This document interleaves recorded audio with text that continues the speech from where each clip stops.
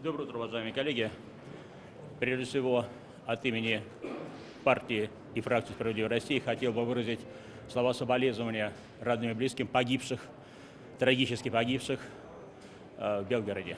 Это страшная катастрофа, это свидетельство того, что успокаиваться никому нельзя, и, конечно, нужно серьезно думать над тем, в том числе нам, законодателям, как у нас люди проходят психиатрическое обследование, э, кто у нас имеет право владеть оружием и многие-многие другие вопросы, которые стоят очень остро. Еще раз выражаем соболезнования родным и близким убитых.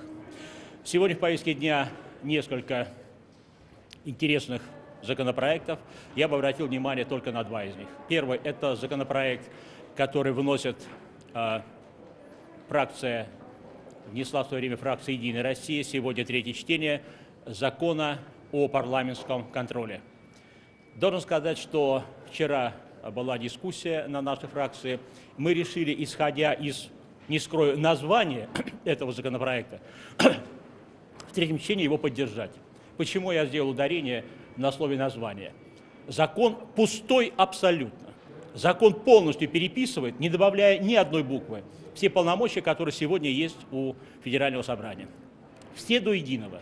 Либо в Конституции, либо в соответствующем законе ничего нового не сказано. Никаких дополнительных полномочий палаты не получают. Это, кстати, свидетельство того, что э, закон был наскоро слеплен как альтернативный нашему законопроекту, который благополучно отклонили, где действительно давались реальные полномочия для реального парламентского контроля Э, федеральному собранию.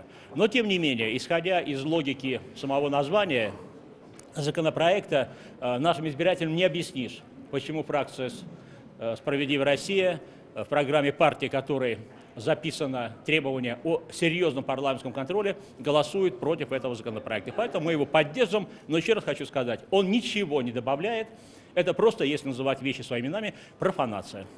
Но, увы, вот такие игры у нас иногда играет Единая Россия, приходится, ну, то, что называется, вольно или невольно им подыгрывать.